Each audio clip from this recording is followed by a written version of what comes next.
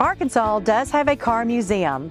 The Museum of Automobiles and Petit Jean began in 1964 as a project by future Governor Winthrop Rockefeller.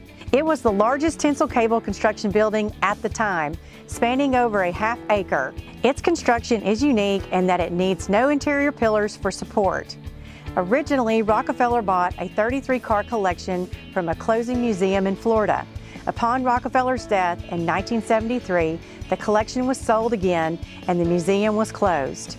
Just three years later, a group of 10 volunteers reopened the doors with 33 cars on loan from individuals.